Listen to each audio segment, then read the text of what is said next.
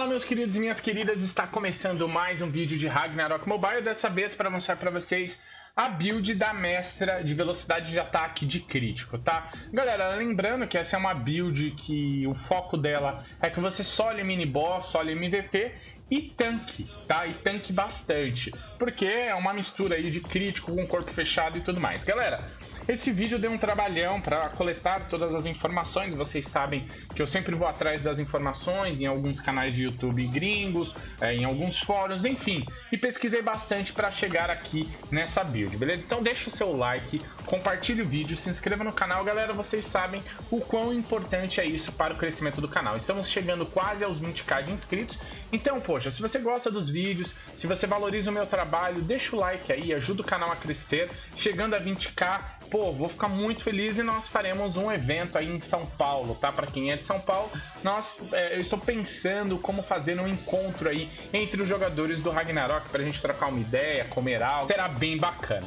Galera, então começando aqui, vamos falar dos atributos. Os atributos é, desta build é 72 de ágil, 56 de força, 30 de Dex e 28 de Luck. Galera, indo para as habilidades aqui rapidamente, nós temos aqui Kireleison no 10, Benção no 10, Age no 10 e aqui nós temos Perícia com Massa, né, que serve também para soqueiras no 10. Então ela me dá 60 pontos de ataque e se for auto-ataque ela me dá mais 200 pontos, tá? É assim que funciona essa habilidade. Marquinhos, esses 200 pontos servem para habilidades? Não, não serve. É só para auto-ataque, tá? Ah, compensa colocar cura? Não compensa, porque a cura do monge é muito baixa, já que ele não pode usar o Cross Staff nem nos equipamentos de cura, então acaba não compensando. Indo para as habilidades de Monk, eu tenho Iron First, tá bom? Essa habilidade aumenta 40 o seu ataque e o mesmo esquema, tá? Para alto ataque, mais 200. Nós temos Call Spirits, que é para você invocar as esferas espirituais, e é pré-requisito para Zen. A diferença das duas é que aqui eu conjuro e pego de uma em uma. Já o Zen eu uso e já fico com as cinco esferas é, em volta de mim. Nós temos aqui Critical Explosion, essa habilidade durante 130 segundos, aumenta em 20 pontos a minha taxa de crítico e eu também, ó, olha aqui, ela aumenta um pouquinho de ataque para cada Spirit Bomb que eu tiver, tá? Spirit Bomb, esferas espirituais, é, são aquelas esferas que ficam te rodeando. Essa habilidade também é pré-requisito para o Azura. Eu tenho Azura, por mais que essa build não seja focada em Azura, é bom que você o tenha. Pessoal, temos aqui esquiva, aumenta a esquiva do monge em 19%. Essa build também é baseado bastante em esquiva, então quanto mais esquiva você tiver, melhor aumenta 19% a sua taxa de esquiva. Nós temos aqui, é, em consequência, a, o corpo fechado, que vai ser uma das nossas habilidades principais, tá? Diminui 85% o dano que você recebe, mas diminui aí a sua velocidade de ataque em 25%. A sua move speed, quando você anda normal, diminui 75%, e entretanto essa é uma habilidade essencial para que essa build dê certo. Nós temos aqui Spirit Recovery, ele recupera é, a cada 10 segundos uma quantidade de SP e de HP, entretanto eu peguei ela porque ela é pré-requisito para passo etéreo ou passo etéreo. É, aqui não tem um acento, então gente está em inglês, então ainda vocês entenderam. Então é, é pré-requisito, peguei ela no 3 para pegar esta habilidade aqui que eu consigo dar aquele espaço. Galera, uma coisa importante: se você estiver em estado de fúria, você pode usar essa habilidade à vontade. Agora, se você estiver sem fúria, é necessário que você gaste uma esfera espiritual para cada vez que você é, utiliza a habilidade. Então é bom que você esteja em fúria porque aí é sem limites. Galera, indo aqui para as habilidades de monge, nós temos aqui essa habilidade que aumenta a minha velocidade de ataque em 22%. Pessoal, nós colocaremos essa habilidade aqui, vai aumentar mais um pouquinho o nosso ataque. E nós temos aqui Critical Explosion Break. Então, para cada ponto dela, aumenta um de força. Aqui também aumenta um pouquinho o ataque, tá? Death Penetration é uma habilidade aqui bem bacana. Galera, os pontos que sobrar, uh, nós teremos que colocar aqui em Investigate para pegar o Finger Offensive, que é uma habilidade importantíssima e funcionará muito bem é, nesta build, tá? Aqui nós colocaremos essa habilidade no 5 e nós precisamos aqui do Investigate no 3. Galera, essencial, essencial são essas as habilidades. Bom, as armas, nós podemos colocar o Slash, tá bom? O Slash nos dá 20 de crítico, entretanto, diminui a nossa def em um terço. Lembrando que como você estará de corpo fechado, dane-se, não, não vai fará muita diferença. Para cada refinamento, aumenta o ataque básico em 3%, então acaba sendo uma opção muito boa. Lembrando que ela tem aí uh, os tier dela, depois vocês deem uma olhada. Pessoal, na sequência aqui nós temos o Noble Cross, né?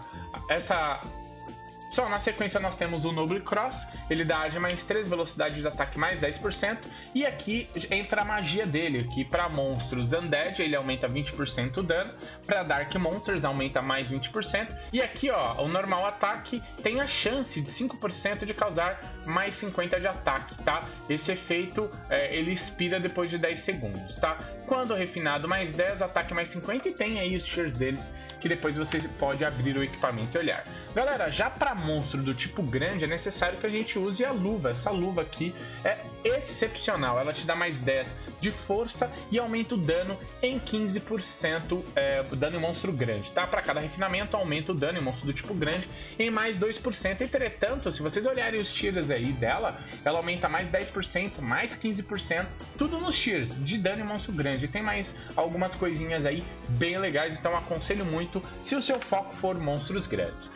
Já nos escudos nós temos esse bracelete, que eu nem vou me arriscar a pronunciar, tá? Ele te dá 10 de esquiva, crítico mais 8, lembrando que isso aqui é taxa de acerto crítico. E ele também, quando equipado aí por Priest, aqui eu não sei se monge está incluso nesta, nessa parada, acredito eu que não, é, te dá um ponto de ataque para cada 10 pontos de esquiva. Agora, se serve para monge, infelizmente eu não sei, mas só por esse crítico aqui, mais 8, já vale a pena. Agora, se você quer tancar no corpo fechado, galera, é, é necessário que você tenha o Static Shield, tá? O Static Shield reduz o dano que você recebe das propriedades vento, terra, água e fogo em 25%, ou seja, quando você tá com o corpo fechado, ah, o que te dará muito dano é justamente as habilidades. Você estando com esse escudo diminui 25% de dano dessas propriedades aqui, então passa a ser um escudo muito bom.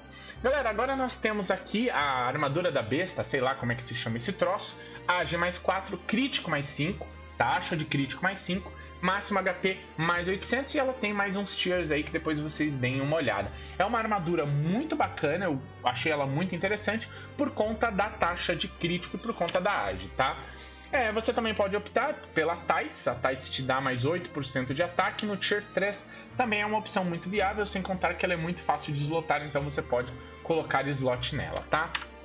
Galera, vamos aqui para a capa. A capa nós podemos utilizar a capa que dropa do de Goblin. Ela te dá aí um pouquinho de força e aumenta a sua velocidade de ataque. Como essa build é focada em velocidade de ataque, bater rápido e bater forte, isso aqui é muito importante. Inclusive, a habilidade Steel Body, que é o corpo fechado, ela diminui a sua velocidade de ataque.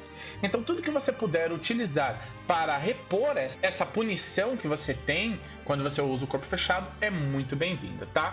Uma outra opção também, já que nós estamos focando numa build de bater rápido e tancar muito bem com o corpo fechado, nós também podemos utilizar a Instaunch Cape, que vai reduzir o dano recebido em 10%. Galera, lembrando que isso aqui é dano neutro, é porrada. Toda porrada que você leva, você leva menos 10%. Você pode deixar ela no Tier 3, que aí ela vai reduzir mais 3%, totalizando 13% a menos de dano neutro. E eh, dano neutro, porrada, tá? Isso é muito bacana. Vamos aqui agora para a bota. A minha bota preferida é a Rune Boots. Entretanto, ela é uma bota inacessível nesse começo de jogo. Ela é muito cara. Te dá move speed mais 10% e a cura que você recebe mais 30%. Então toda a cura que você recebe será aumentada em 30%. Ela também te dá ataque mais 3% e mágico ataque mais 3%, que é uma opção muito bacana. Todo ataque é muito bem-vindo para essa build, tá? Uma outra opção mais barata, nós podemos fazer a bota lá de Pion, que é a Ted Shoes. A Ted Shoes te dá Move Speed mais 5% e Age mais 2. Com os tiers dela, ela aumenta um pouquinho a sua Move Speed e te dá mais um pouquinho de Age. Achei bem interessante. Galera, agora falando dos acessórios. Os acessórios, nós temos o Rosário, que vai aumentar o seu dano crítico, já que essa build é focada em crítico. Achei bem interessante no último tier, quando você transforma ela em Necklace, ela te dá mais 2% de dano crítico. Achei interessante, fora a luck que ela te dá, vai aumentar aí a, o seu dano crítico e também a taxa de acerto crítico.